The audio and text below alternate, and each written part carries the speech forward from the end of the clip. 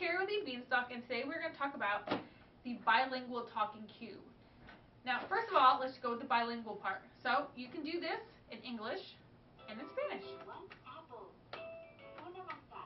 So that brings a whole new play level to this cube. Now it has six different play sides and you have numbers, you have little spinny balls, we have the alphabet back here. This is great for language skills, it's great for dexterity, it's great for coordination, um, memory, you know, they're gonna, they like the one, they're gonna keep hitting the one, all that kind of stuff. This cube is great for all of that. It has a volume button, which parents love. It has an on-off button, which everybody loves. You can put it in English or Spanish. It's colorful. It's great for when your child's sitting up because you can, you know, it could be like that cube to put in between their legs to help them balance themselves.